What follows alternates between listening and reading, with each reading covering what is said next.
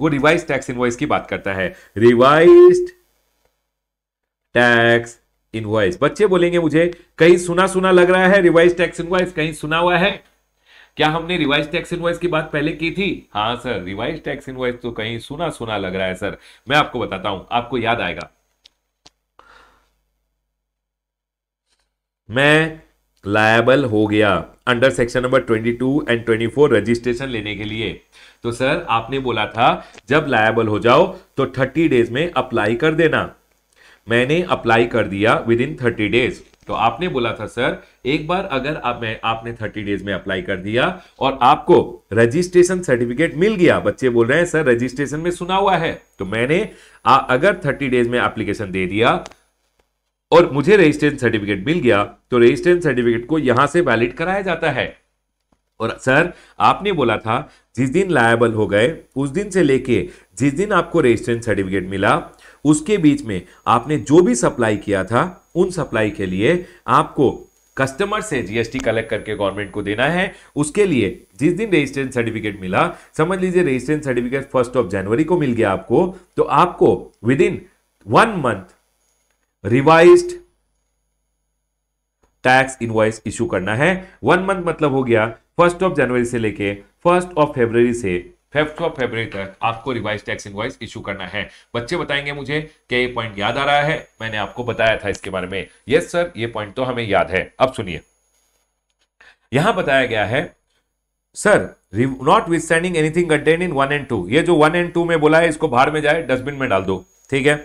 इन्होंने बोला अगर एक रजिस्टर्ड पर्सन है तो वो इश्यू कर सकता है revise tax invoice within one month of issuance of registration certificate ओ, जिस दिन रजिस्ट्रेशन सर्टिफिकेट मिला, उसके एक महीने में आपको रिवाइज टैक्स इनवॉइस इशू करना है। सर ये तो आपने रजिस्ट्रेशन चैप्टर में ही बोल दिया था। यस बाबा रजिस्ट्रेशन चैप्टर में जो मैंने बोला था, वो एक्चुअली टैक्स इनवॉइस के चैप्टर से चुरा के बोला था। ठीक है सर ये वन मंथ में रिवाइज टैक्स इनवॉइस इश्यू करना है। आप मुझे एक बात बताइए।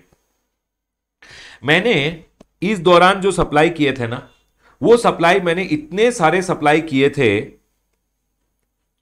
कि मतलब सर, समझ लीजिए, हज़ारों सप्लाईज किए थे सर।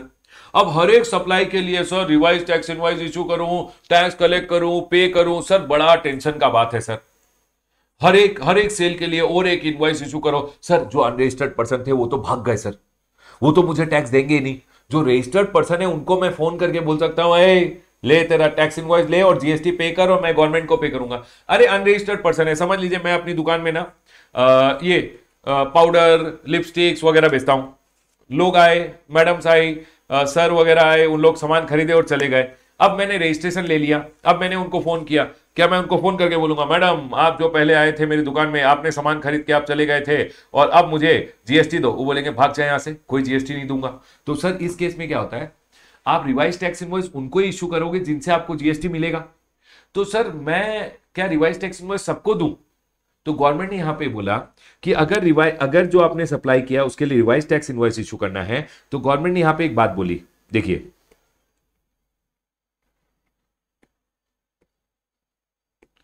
गवर्नमेंट ने बोला, रमेश, एक काम कर। तू जब रिवाइज टैक्स इनवॉइस इशू करता है ना, इन सप्लाईज को देख। अगर ये सप्लाईज तूने रजिस्टर्ड पर्सन को किया था या अनरजिस्टर्ड पर्सन को किया था। मतलब ये क्या बी टू बी सप्लाईज थी या बी टू सी सप्लाईज थी? ठीक है? अगर तूने बी टू बी सप्लाई किया है तो जो रजिस्टर्ड पर्सन है, उनसे टैक्स कलेक्ट करके गवर्नमेंट को पे कर सकता है। हाँ? तो जब रिवाइज टैक्स इनवाइज इशू करना है तो एक काम कर। अगर रजिस्टर्ड पर्सन को चाहे इंट्रा स्टेट सप्लाई किया हो, चाहे कोई रजिस्टर्ड पर्सन थे जो आउटसाइड द स्टेट थे इंटर स्टेट सप्लाई किया हो, उनसे तो तू जीएसटी कलेक्ट कर सकता है। तो एक काम कर, उनको सबको individually revise tax invoice issue कर दे, उनसे जीएसटी कलेक्ट करके गवर्नमेंट को पे कर दे। यहाँ भी individually revise tax invoice issue कर दे। जो भी सेल किया था, हर एक सेल के लिए उनको रिवाइज टैक्स इनवाइज दे, उनसे जीएसटी कलेक्ट कर और गवर्नमेंट को पे कर दे। लेकिन रमेश, एक बात बता, अगर तूने इस दौरान, किस दौरान? जब लायबल हुआ, तब से लेके जब तक रजिस्ट्रेशन सर्टिफिकेट मिला, अगर तूने सेल कुछ अनरजिस्टर्ड लोगों को किया था, वो लोग तो भाग गए, सर। अब उनको रिवाइज टैक्स इनवॉइस देके क्या होगा? लेकिन मुझे जीएसटी तो पे करना है। तो मैं क्या करता हूँ ना एक्चुअली क्या होता है, जब आप सेल करते हो ना, तभी आप थोड़ा एक्स्ट्रा कलेक्ट कर लेते हो कि ये जो अनरजिस्टर्ड पर्सन है, ये तो भाग गए, अब ये तो जीएसटी देंगे नहीं बाद में तो इनसे आप थोड़ा एक्स्ट्रा पहले ही कलेक्ट करके रख लेते हो, ठीक है? तो अब गवर्नमेंट यहाँ पे बोलता है कि अगर आपने जो सप्लाई किया था, वो आपने अनरजिस्टर्ड पर्सन को किया था तो आप एक काम कीजिए। हर एक व्यक्ति को रिवाइज टैक्स इनवाइस देने की कोई ज़रूरत नहीं है, आप एक काम कीजिए अगर आपने जो सेल किया था वो अनरजिस्टर्ड व्यक्ति लोग को था तो आप देखिए, क्या आपने सेल इंट्रा स्टेट किया है? या क्या आपने सेल इंटर स्टेट किया है? इंट्रा है या इंटर है? अगर आपने इंट्रा स्टेट सप्लाई किया था ना, कोई बात नहीं। बस, एक काम कीजिएगा, सारे इन्वॉइसेस जो आपने अनरजिस्टर्ड पर्सन को इश्यू किए थे एनीवेज उनको कोई क्रेडिट वगैरह तो चाहिए नहीं। आप बस एक काम कीजिए, यहाँ पे कंसोलिडेटेड एक रिवाइज टैक्स इनवॉइस बना लीजिए, एक रिवाइज टैक्स इनवॉइस बना लीजिए जीएसटी कलेक्ट कर लीजिए और गवर्नमेंट को पे कर दीजिए। सर जीएसटी कलेक्ट तो होगा नहीं तो अब बस आपको एक कंसोलिडेटेड रिवाइज टैक्स इनवॉइस बनाना है और गवर्नमेंट को जीएसटी पे कर देना है। क्या ये पॉइंट क्लियर हुआ? क्या हम आगे बढ़ सकते हैं? रादर देन सर हर एक अनरजिस्टर्ड पर्सन को एक एक एक एक इनवॉइस देना सर एनीवेज अनरजिस्टर्ड पर्सन तो आपको जीएसटी देने वाले नहीं है, ना उनको क्रेडिट चाहिए तो आपको उनसे तो कोई मतलब नहीं है। आप बस एक कंसोलिडेटेड रिवाइज टैक्स इनवॉइस बना लीजिए। चाहे आपने 10 लोगों को बेचा हो, चाहे 20 लोगों को बेचा हो, कोई बात नहीं। एक कंसोलिडेटेड रिवाइज टैक्स इनवॉइस बनाइए। जीएसटी आपको एनीवेज उनसे मिलेगा नहीं। आप बस जीएसटी गवर्नमेंट को पे कर दीजिएगा। बस एक कंसोलिडेटेड रिवाइज टैक्स इनवॉइस बनाना है। बच्चे बताएँगे मुझे क्या ये पॉइंट क्लियर है, क्या हम आगे बढ़ सकते हैं। इंडिविजुअली क्यों पेपर वेस्ट करना है? एनीवेज वो लोग आपको जीएसटी देने वाले नहीं है तो इंडिविजुअली एक एक एक एक करके रिवाइज टैक्स इनवाइस देने की ज़रूरत नहीं है। बस एक, जो भी इंट्रास्टेट सप्लाई किए थे ड्यूरिंग दिस पीरियड उनके लिए बस एक कंसोलिडेटेड रिवाइज टैक्स इनवाइस बना लेना। बच्चे बोलेंगे क्लियर है, चले आगे।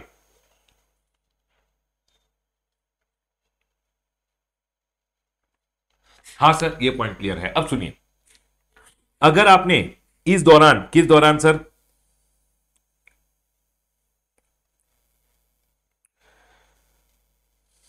इस टाइम के दौरान।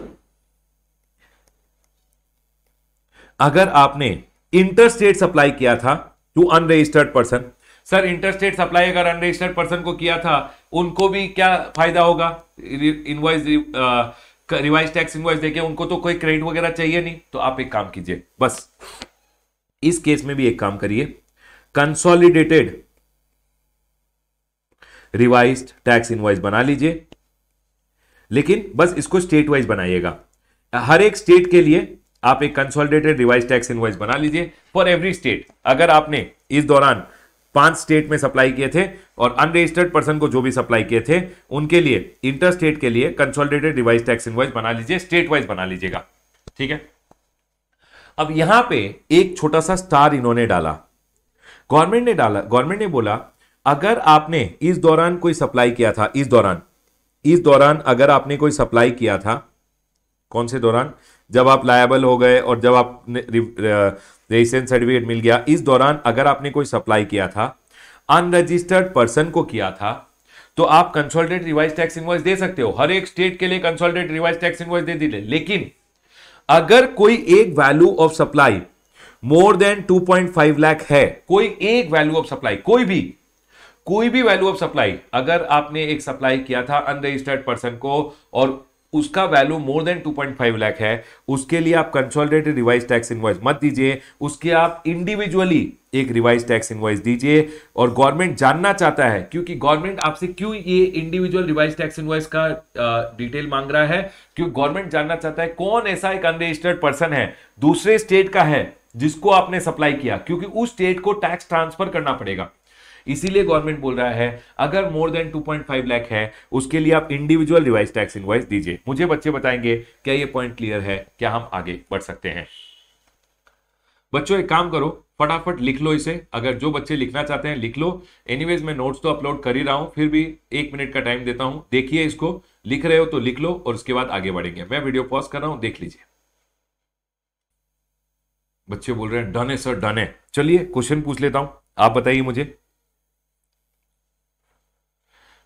नंबर वन आप बताओगे रिवाइज टैक्स इनवाइस देना है, एक कंसोलिडेटेड रिवाइज टैक्स इनवाइस में ही जा सकता है, ठीक है? नंबर वन मैंने नंबर वन सप्लाई किया है टू राम सप्लाईज टू ठीक है? Ram A registered person value of supply मैं लिखता हूँ यहाँ पे five hundred rupees sir supplies किसको किए? और registered person unregistered value of supply 500 मेरा क्वेश्चन आपसे यह है, क्या रिवाइज टैक्स इनवॉइस देना है या कंसोलिडेटेड रिवाइज टैक्स इनवॉइस देना है? बताइए। बोल, बेटा, बोल। रिवाइज टैक्स इनवॉइस या consolidated revise tax invoice sir normal सा केस है रजिस्टर्ड पर्सन है वैल्यू वगैरह देखिए मत रिवाइज टैक्स इनवॉइस दे दीजिए। ठीक है, चलिए, उसके बाद मैं सेकंड क्वेश्चन पूछ रहा हूँ। मैं क्वेश्चन लिख लेता हूँ पाँच छह क्वेश्चन आप लोग आंसर करते रहिए ठीक है? श्याम को सप्लाई किया। श्याम एक रजिस्टर्ड पर्सन है और थ्री लाख रुपीज़ का सप्लाई किया। नंबर थ्री सर श्याम को सप, मोहन को सप्लाई किया ठीक है? सर मोहन और मोहन एक अनरजिस्टर्ड पर्सन है और value of supply sir intra है या इंटर है वो तो बता दीजिए। एक काम करते हैं इंटर या इंट्रा यहाँ तो ऑलरेडी आपको पता है सर इंट्रा हो चाहे इंटर हो, ठीक है? यहाँ आपने अनरजिस्टर्ड पर्सन को सप्लाई किया है फिफ्टी थाउज़ेंड का सप्लाई है, ये इंट्रा स्टेट सप्लाई है नंबर फोर सर राधा को सप्लाई किया है। राधा एक अनरजिस्टर्ड पर्सन है और सर फिफ्टी थाउज़ेंड का सप्लाई है इंटर स्टेट सप्लाई है। ठीक है सर फिफ्थ में आपने लक्ष्मण को सप्लाई किया है। लक्ष्मण अनरजिस्टर्ड पर्सन है थ्री लाख रुपीज़ का सप्लाई है इंट्रा स्टेट सप्लाई है। सिक्स आपने रोहन को सप्लाई किया है। रोहन एक अनरजिस्टर्ड पर्सन है थ्री लैख का सप्लाई किया है और इंटर स्टेट सप्लाई किया है। अब बच्चे मुझे बताएँगे किस किसमें कंसोलिडेट रिवाइज टैक्स इनवॉइस लगेगा और किसमें नॉर्मल रिवाइज टैक्स इनवॉइस लगेगा। फटाफट बता दीजिए। चलिए थर्टी सेकेंड्स का टाइम है। आंसर बताएँगे आप लोग।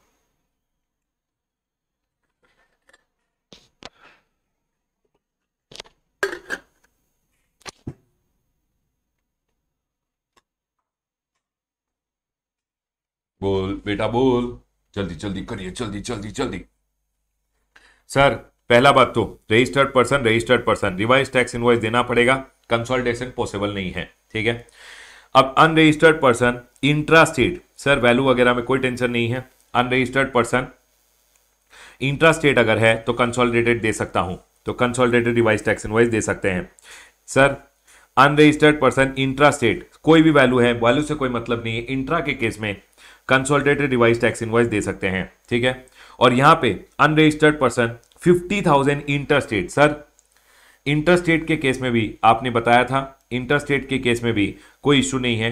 कंसोलिडेट रिवाइज टैक्स इनवाइस दे सकते हैं। बस अगर वैल्यू मोर देन 2.5 लाख है तो कंसोलिडेशन नहीं दे सकते हैं। एक सिंगल रिवाइज टैक्स इनवाइस देना पड़ेगा, ठीक है? इसको आप कंसोलिडेट नहीं कर सकते हो, इसको आप अलग से रिवाइज टैक्स इनवाइस दोगे, ठीक है, सर? तो एक बात बताइए, सर इंटरस्टेट इंटरस्टेट लेकिन यहाँ मोर देन 2.5 लाख है तो रिवाइज टैक्स इनवाइस देना पड़ेगा। यहाँ consolidated revise tax invoice issue करोगे तो भी चल जाएगा। बच्चे बताएँगे मुझे, क्या ये पॉइंट क्लियर है? क्या हम आगे बढ़ सकते हैं?